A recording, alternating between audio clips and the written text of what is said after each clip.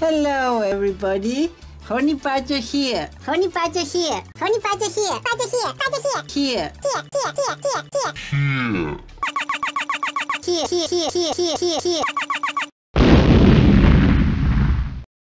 Here.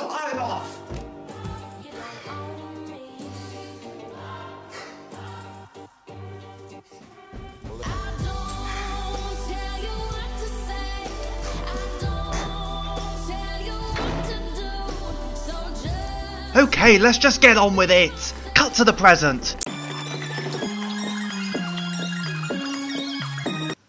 Hi everyone, this is Benito's explanations. The new, well, Sam's Sam's explanations, if you like, or Sam's fact. I don't know. You tell me. I don't really know. What am I doing here? I think today, what Benito's left me to do, or left for you to learn, because he's incompetent like that. This is sens- sensory ecology, and what what is sensory ecology? What is sensory ecology?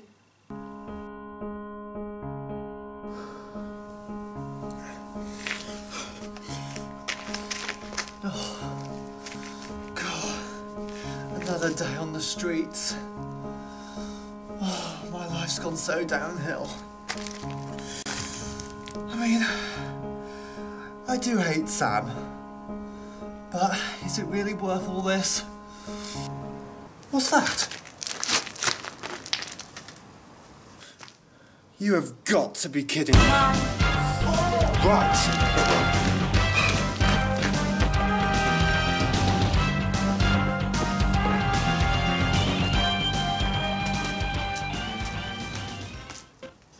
What, is hearing?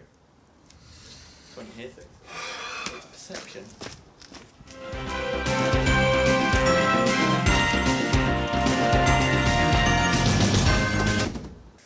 Great.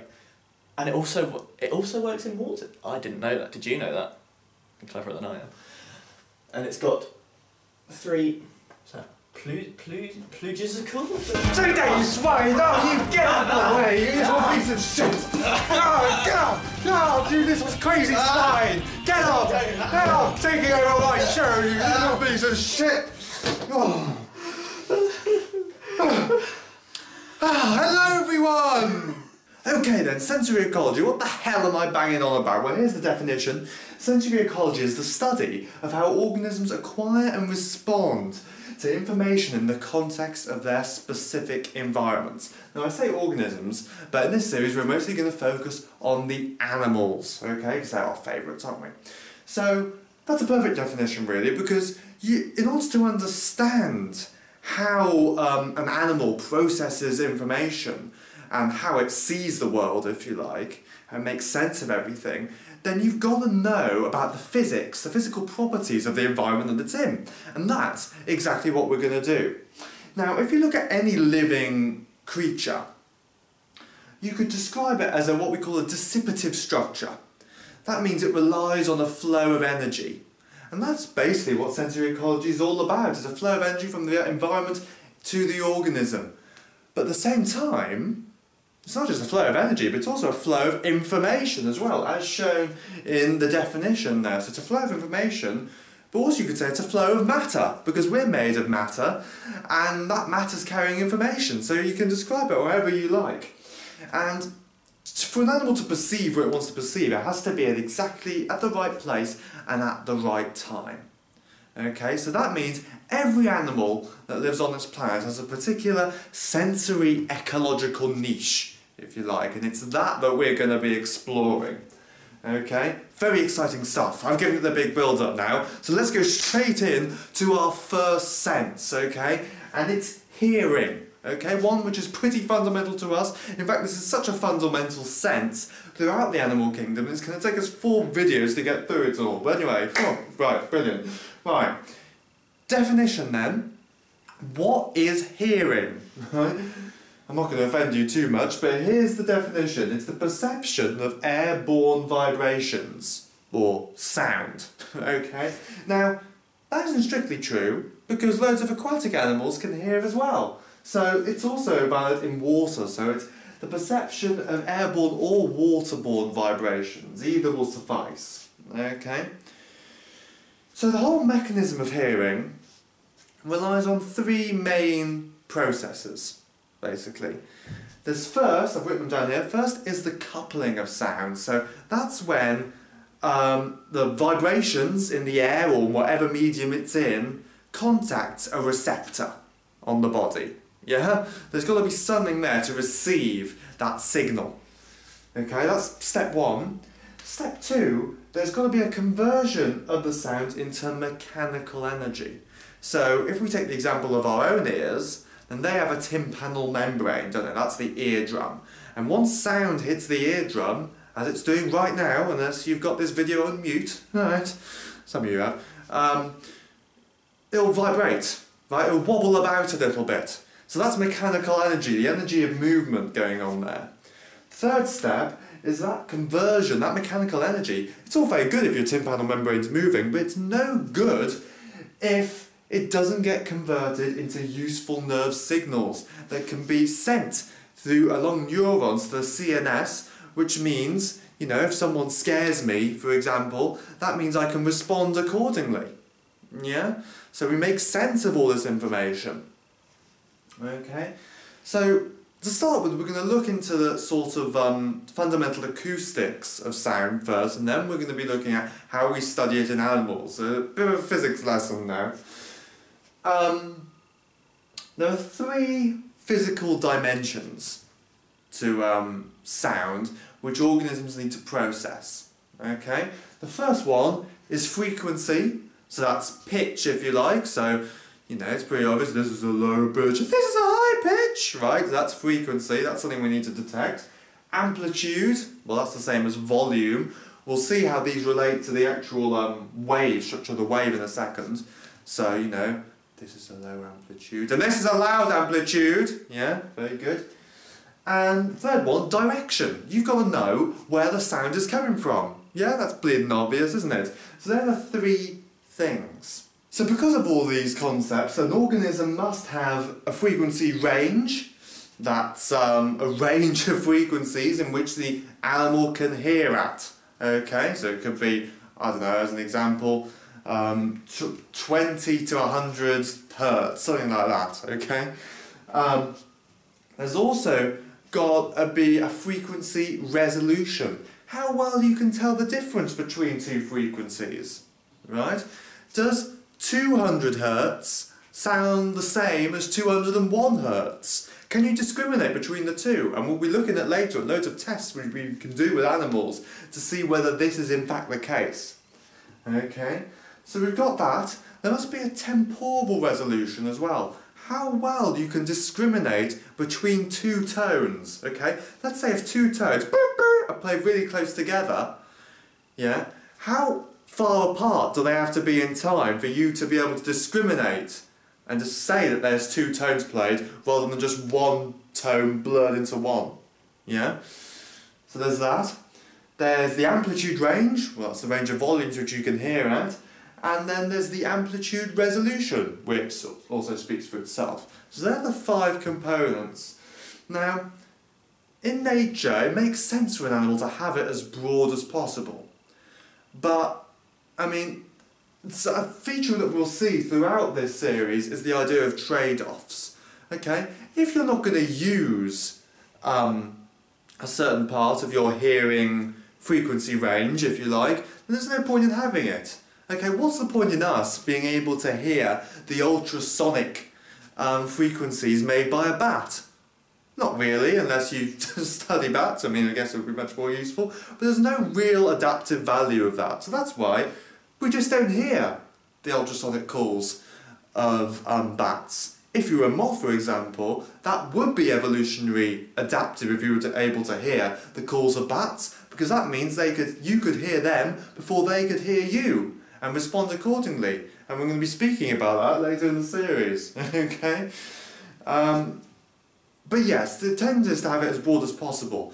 Um, the cetaceans, like the whales and the dolphins, actually have some of the broadest frequency ranges. And that's because sound travels a lot faster and better, it spreads better in water.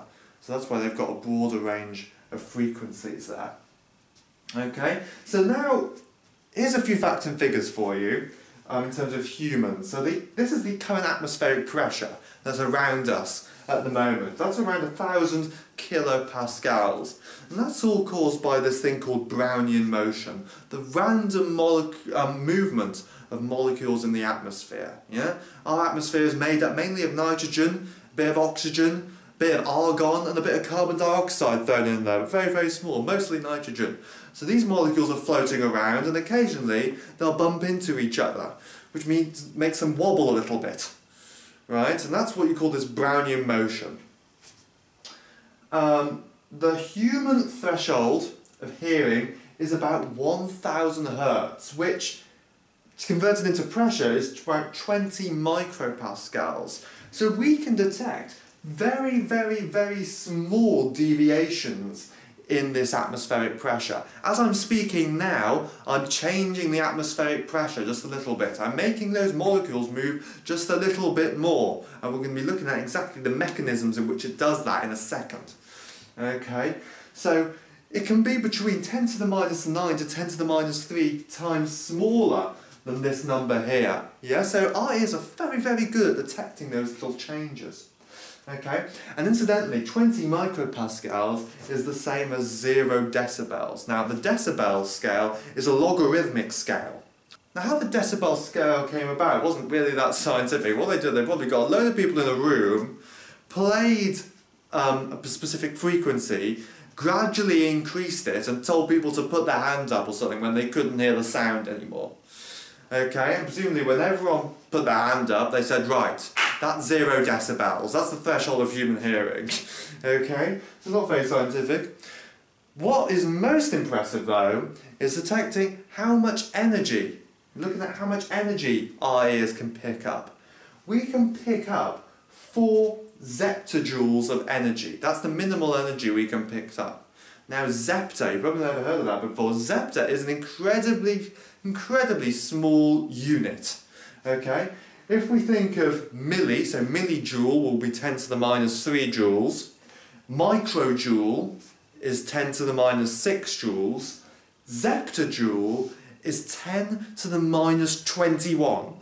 so incredibly, incredibly small. 4 zeptajoules is what we can detect.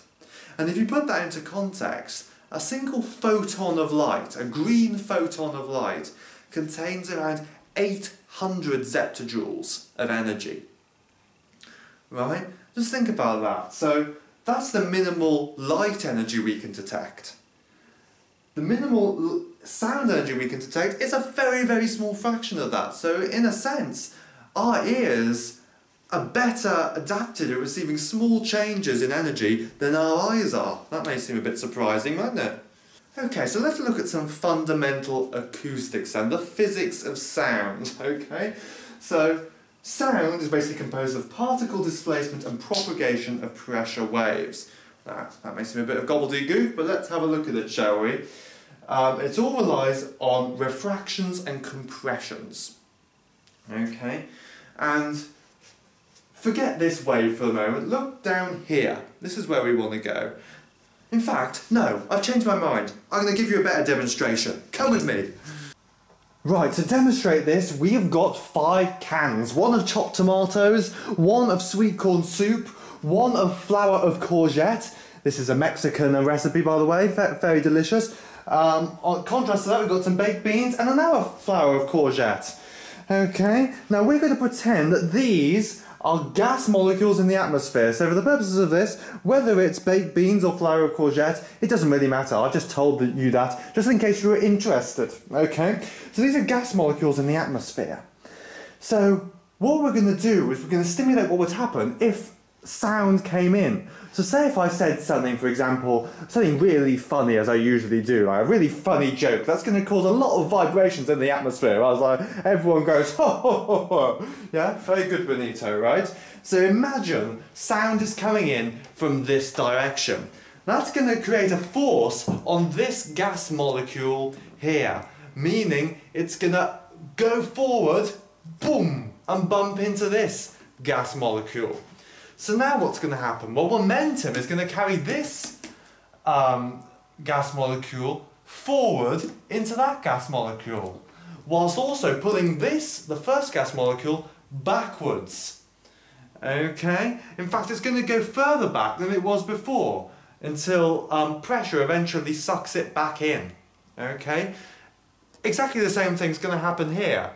So, boom, that's going to go shooting forward. That's going to go backwards, eventually come back to where it was before. Okay? Same thing's going to happen here.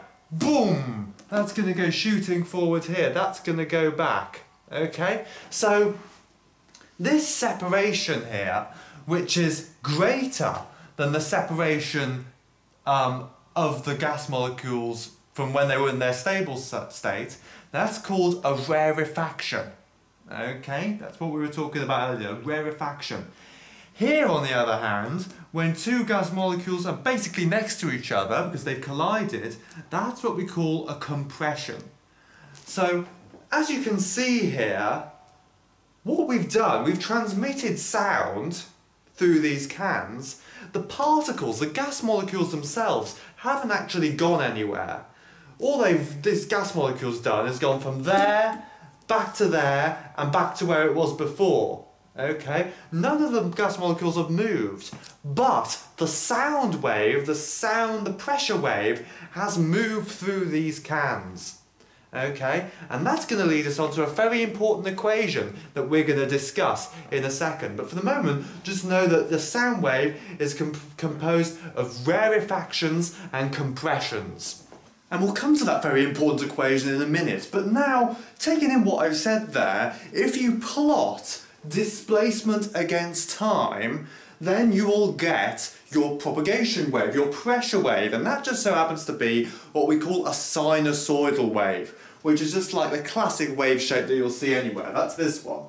Okay, so there's loads of um, properties of waves that we need to get a hang of. The wavelength is this distance from there to there, so it's the length of a complete cycle, often given the Greek letter lambda. Right, the frequency is the number of those complete cycles which you um, which pass in a given period of time, so per second.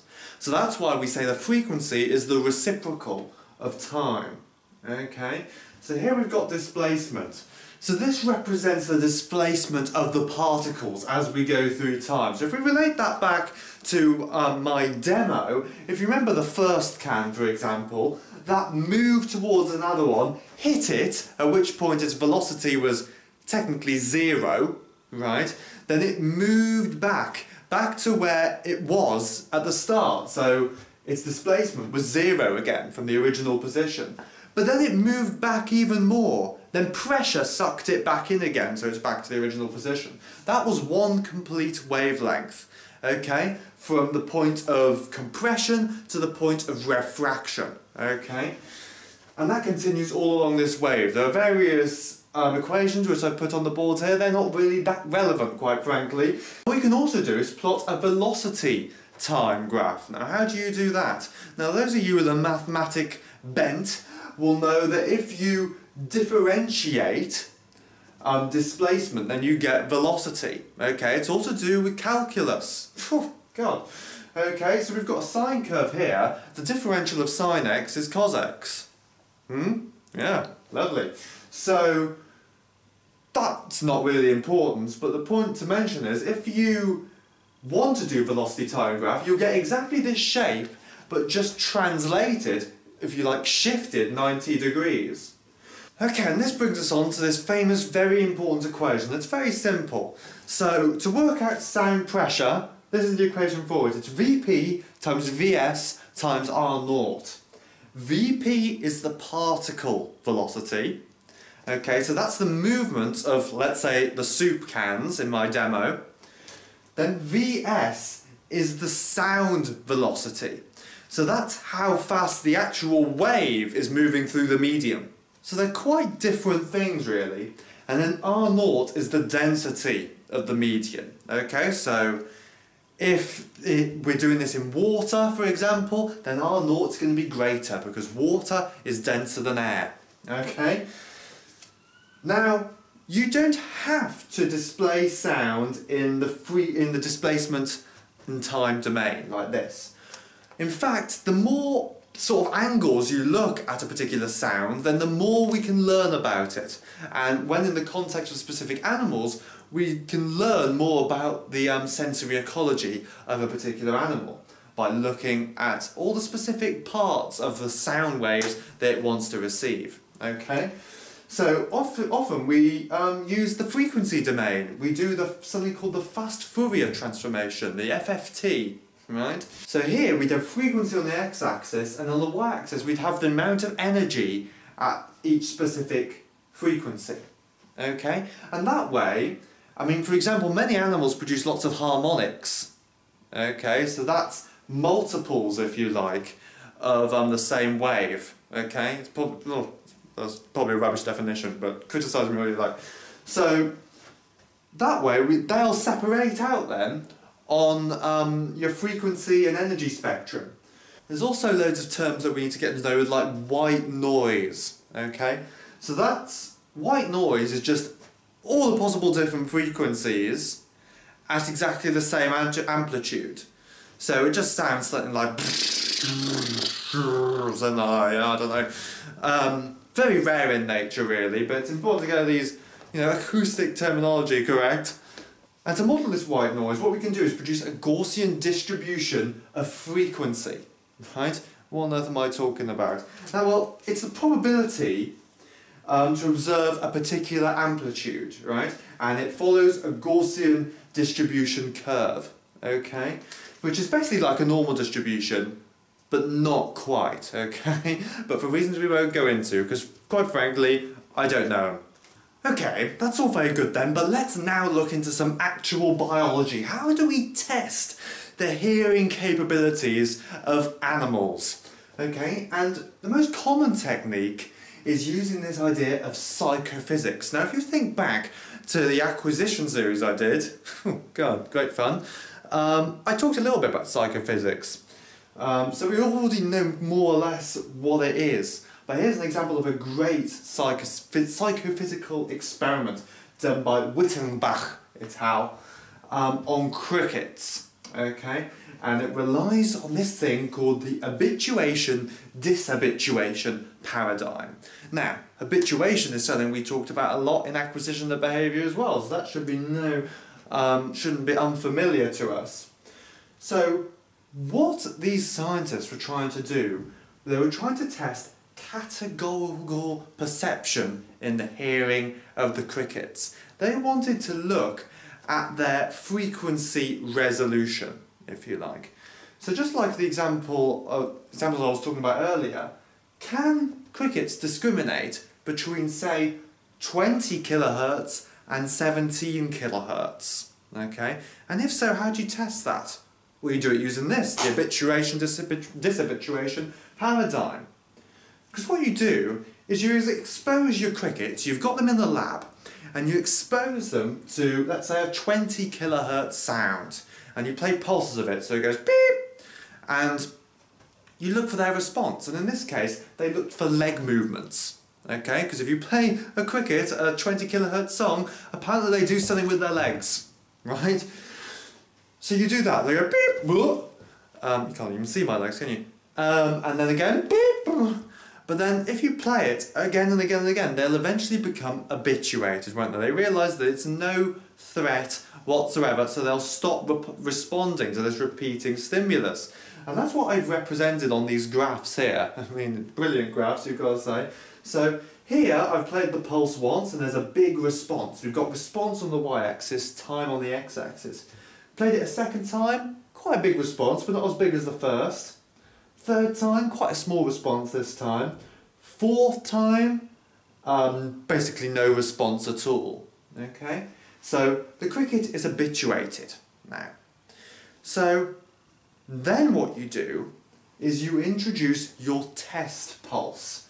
So now you're going to introduce 17 kilohertz to the cricket and see if it responds or not. Okay? And as you can see, no response by the cricket whatsoever if you put in 17 kilohertz. Then you do a probe um, sound a probe pulse of 20 kilohertz again. And as you can see, again, no response. This cricket is still habituated. So this suggests to us that the cricket takes in 70 kilohertz the same as it would 20 kilohertz. They hearing it as the same thing. The cricket can't distinguish between the two frequencies because if it did, it would produce a response here, okay, by the leg.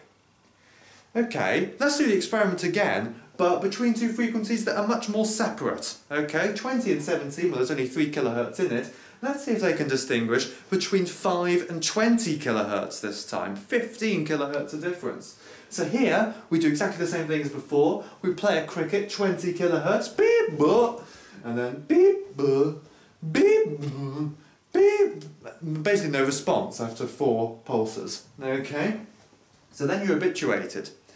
Then you introduce the 5 kilohertz pulse. So that's a bit um, lower, isn't it? So it's boop. But as you can see, still no response. Well, that's interesting. So, has does it take 5 and 20 kilohertz as the same thing? Well, that's what's important. That's the importance of the probe pulse then. Because if you put the probe pulse in after that of 20 kilohertz again, then you go beep, it responds again. Well, that's weird, isn't it? Because it didn't respond to the test pulse, but it responded to the probe pulse. So clearly, this cricket has become dishabituated. So this suggests to us that 5 kilohertz is treated in a different way by the nervous system than 20 kilohertz, whereas 17 and 20 kilohertz are treated as more or less the same thing. So this is this idea of categorical perception.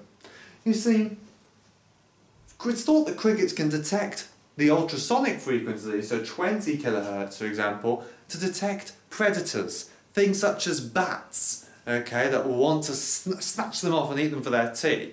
Okay, so it's important for them to detect those frequencies.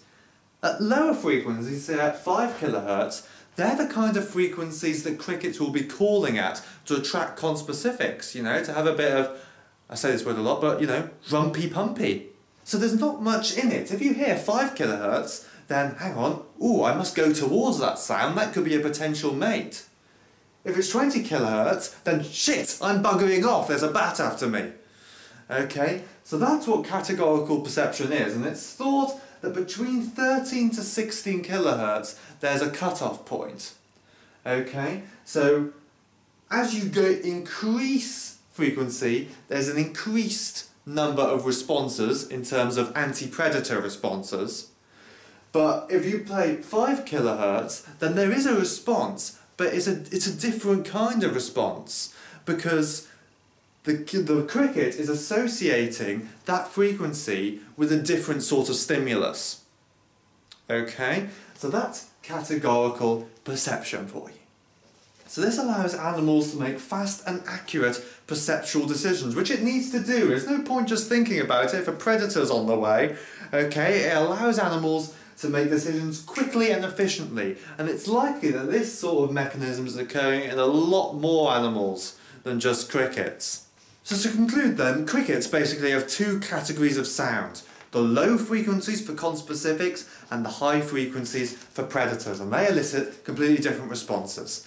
That's all we've got time for today. We'll continue with sound next time. And of course it goes without saying to subscribe. I mean, you've all done it already, but I mean, worth a go, isn't it? So that gives me the motivation to make more videos, which is what you all want. Of course it is. But for the moment, see you next time.